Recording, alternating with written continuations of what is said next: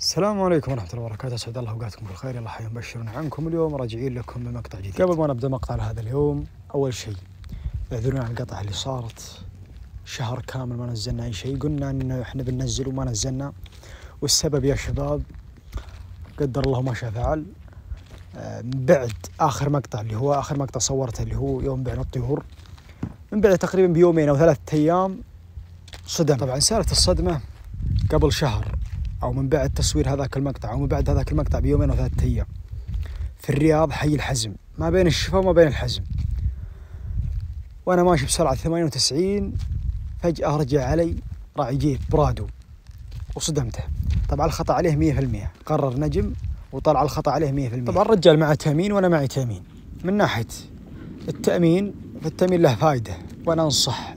أدري ما لها دخل في الموضوع اليوم لكن أنصح. بكل اللي معه موتر أنصحه بالتأمين، التأمين شيء ممتاز.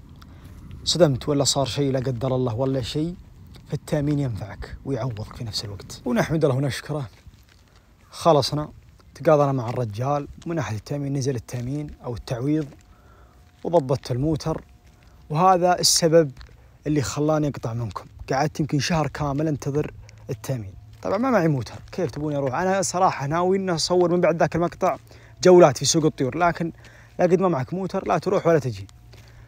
فبإذن الله الأيام القادمة بينزل لكم مقطع بإذن الله.